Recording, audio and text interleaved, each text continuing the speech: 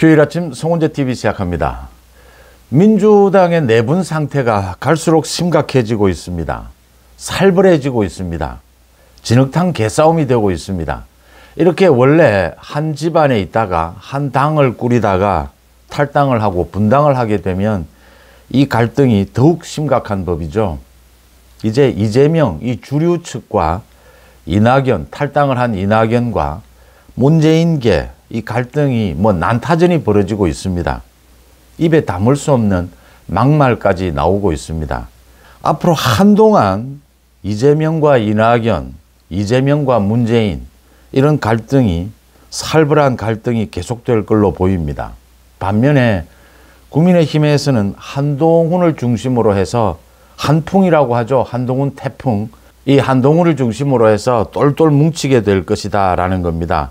한풍 이렇게 한동훈을 중심으로 해서 뭉치게 되는 것은 뭐 국민의힘이라고 해서 공천을 안 할 수도 없고 공천에서 떨어지는 사람이 없을 수가 없습니다. 그런데 대체적으로 보면 그동안 선거의 경험에서 보면 이 한동훈이라고 하는 이 중심이 자기 확실한 대권 주자가 지지율이 확실하게 뒷받침이 되고 있다라는 겁니다. 거기에다가 여권에 지금 한동훈 비대위원장과 이 윤석열 대통령과의 관계가 과거 어떤 여권 형태보다도 친밀하다라고 하는 점입니다.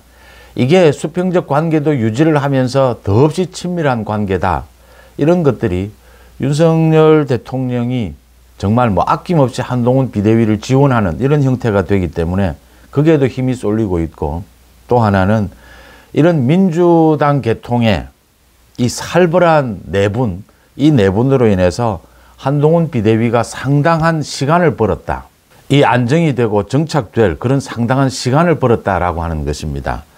이 여야의 상황 오늘 휴일을 맞아서 한번 살펴보겠습니다. 입에 담을 수 없는 말들이 쏟아지고 있습니다. 어제 그러니까 이낙연 지지층들이 국회에서 모였습니다. 이제 탈당 기념 행사입니다. 탈당 기념 행사를 국회에서 이렇게 하는 것도 이례적인 일이고 여기에서 막말이 쏟아졌습니다. 그러니까 300명 정도가 모였는데 이 이낙연 신당 이 뭐 합류하기로 한 사람들입니다.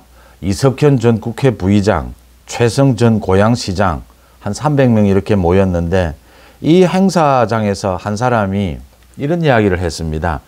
이재명이 목에 칼빵을 맞았다. 참 섬뜩한 이야기죠. 이재명이 목에 칼빵을 맞았는데 이렇게 칼빵을 맞고도 지지율이 떨어지는 이런 경우는 처음 본다라고 했습니다. 이러니까 민주당에서는 이제 발칵 뒤집어질 수밖에 없습니다. 민주당에서는 반인륜적 망언이다. 국민의 힘도 이렇게 노골적으로 조롱하지는 않는다 라고 이야기를 했고 이낙연은 곧바로 이 지지자 폭언에 대해서 사과를 드린다라고 했습니다. 정말 이게 뭐 부부가 이혼을 할 경우에도 최악의 상황으로 가는 경우다. 그러니까 감정적으로 더 이상 돌이킬 수 없는 상황으로 가고 있다. 이렇게 먼저 자초한 것이 이재명 측 개딸들이다.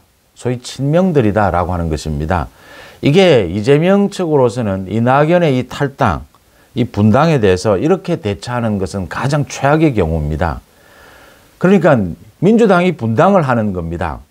끝까지 이재명 측은 이낙연의 손을 잡고 총선까지 또 총선 이후까지 이낙연의 신당과 뭐 언제든지 연대할 수 있다. 이런 식으로 가능성을 남겨둬야 앞으로 전국이 어떻게 바뀔지 모르고 민주당 입장에서 본다면 또 주류인 이재명 측에서 끝까지 이렇게 손을 내밀어야 이낙연 신당의 이 동력이 사라지게 됩니다. 약화됩니다. 그런데 전혀 그러지 않고 뭐 아예 잘 나갔다. 아예 뭐 잘 헤어진다. 이제 속이 시원하다. 이런 식으로 가면 이 감정적으로 흐르게 되면 이제는 국민의 힘보다 더 큰 적이 되어버리는 셈입니다. 이 참 살다 보니 목에 칼빵을 맞았는데 지지율이 떨어지는 경우는 처음 본다. 이 김남훈이라는 사람이 이런 이야기를 했습니다.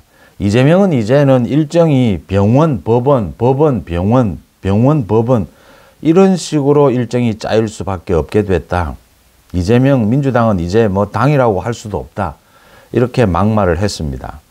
이낙연이 이거 곧바로 사과를 하긴 했지만 이 갈등의 골이 더 깊어졌다. 이제는 돌이킬 수 없는 상황이 됐다. 이렇게 되면 총선에서 3자 대결 구도가 됩니다. 3파전이 됩니다. 이제는 이재명 이낙연보다 오히려 국민의힘 쪽이 이낙연과 더 가까워지는 이 3자 3파전이라는 게 언제나 그런 특징을 가집니다. 이렇게 해서 이재명을 두고 국민의힘과 이낙연이 오히려 더 친밀해질 수 있는 그런 관계가 될 수도 있고 또 민주당, 민주당 자체가 완전히 분당이 되는 지금 뭐 이야기 나오는 이야기로는 민주당에서 50명, 많게는 100명 가까이 현역 의원들이 공천에서 탈락할 것이다. 그렇게 되면 이 현역 의원들이 이낙연 쪽으로 쏠리지 않겠느냐. 이게 심각한 것이 이재명과 이낙연의 이 갈등도 심각한데 지금 이재명 측의 원외 그러니까 현역 의원들이 아닌 원외 단체입니다. 연일 나서서 이낙연을 감정적으로 공격을 하고 또 문재인 측을 공격을 합니다. 이 원외 친명들은 뭐 거의 이판사판인 셈입니다. 그러니까 문재인계나 이낙연계를 모두 쓸어내야 자신들이 공천을 받을 수 있기 때문에 그래서 지금 이재명과 이낙연의 갈등의 골은 갈수록 깊어질 수밖에 없고 또 문재인과도 충돌할 수밖에 없다는 것입니다. 또 김한규 의원입니다. 민주당의 김한규 이 비명이죠. 계속 이재명에 대해서 비판적인 목소리를 많이 해왔습니다. 이 김한규도 지난 11일 굉장히 중요한 이야기를 했습니다. 이 이재명의 피습을 놓고 이런 이야기를 했습니다. 이재명 대표 본인도 상대편이 돼서 이번에 피해자가 돼서 많은 것을 느꼈을 것이다. 느낀 게 많았을 것이다. 자신도 개딸들을 동원해서 많은 정치 테러를 해왔다. 이젠 거꾸로 돼서 자신이 이런 테러를 당하고 보니까 많은 생각을 하게 될 것이다. 많이 느꼈을 것이다. 이런 이야기를 했습니다. 유튜브에 나와서 이런 이야기를 했는데 당장 개딸들이 민주당에서 나가라 이 댓글이 쏟아지고 또 민주당 혁신 행동입니다. 이게 원외 친명 모임입니다. 지금 임종석이나 이 문재인계도 공격을 하고 있는 이 민주당 혁신 행동 망은 제족이다. 그래서 이 김한규를 출당시켜야 한다. 당에서 쫓아내라. 이제는 누구든지 비명 반명은 뭐 개파를 가리지 않고 걸리면 모두 출당시켜라 합니다. 그래야 공천에서 자신들이 공천을 받을 수 있기 때문에 이런 식으로 이재명, 이 친 이재명계가 움직이고 있다라고 하는 것입니다. 그래서 이 사태를 이재명이 몰랐을 수가 없습니다. 그런데 이재명은 어쩔 수가 없는 상황이다.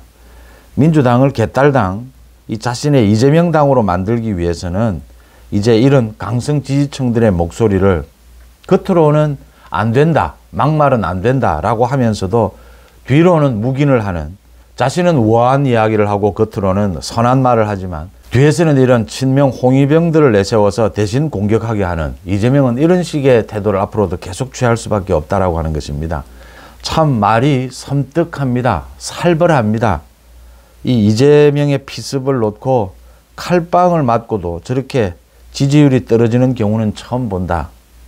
이재명이 이번에 피습을 당하면서 자신도 개딸을 이용해서 정치 테러를 해온 것, 많은 것을 느꼈을 것이다. 많이 반성했을 것이다. 라는 의미죠. 이런 말들이 민주당에서 그대로 터져 나오기 시작했습니다. 반면에 국민의힘은 한동훈 태풍입니다. 이 한동훈 태풍이 뭐 여러 가지 과제도 있습니다. 지금 국민의힘 남아있는 이 총선에서 이 총선의 물갈이라고 합니다. 현역 물갈이 이런 부분도 부담이고 당정 관계도 어떻게 가져갈 것이냐. 지금까지는 새로운 한동훈의 바람, 신선한 바람 이것이었다면 이제는 정책 비전으로 승부를 해야 된다. 뭐 이런 것들도 부담으로 있긴 합니다. 그런데 중요한 것은 여당은 한동훈 태풍으로 결집될 수밖에 없다라고 하는 것입니다. 크게 세 가지를 볼 수가 있습니다. 하나는 한동훈 태풍이 기대 이상이었다라고 하는 것입니다. 내용으로나 결실로나 결실은 역시 뭐 지지율입니다. 지지율에서 한동훈이 차기 대권 후보로 이재명을 앞섰다라고 하는 것입니다. 이런 확실한 대선 후보가 있게 되면 당이 결집할 수밖에 없습니다. 그래서 지금 여의도를 저는 여야보다 앞으로는 한동훈이냐 한동훈 아니냐로 이 여의도 정치권이 나뉠 것이다. 새로운 정치냐 구태 정치냐 그렇게 나뉠 것이다.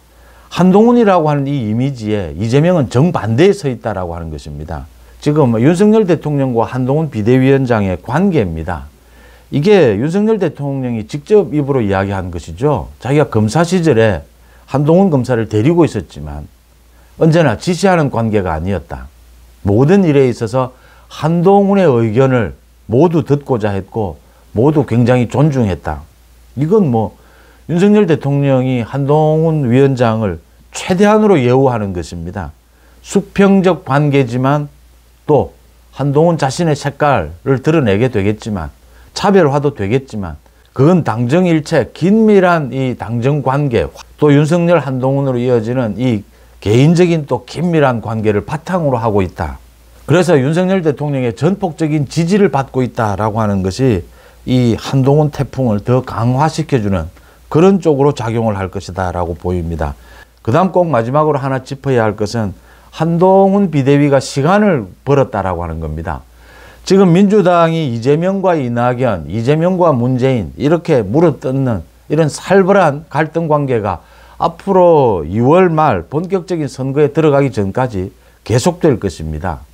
한동훈 위원장으로서는 물론 많은 준비를 했지만 그래도 이렇게 비대위원장까지 맡는 이건 굉장히 빠른 속도로 진행이 됐습니다.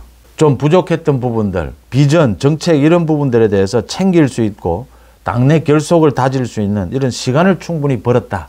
라는 것도 한동훈 비대위의 행운으로 작용을 할 것이다. 이렇게 분석이 됩니다. 한동훈, 그러니까 지금의 여권은 한동훈 태풍으로 인해서 결집하고 있고 야권은 이재명, 이낙연, 문재인까지 이제 살벌한 이 물어뜯기 내부 갈등이 일어나고 있다라고 하는 점입니다.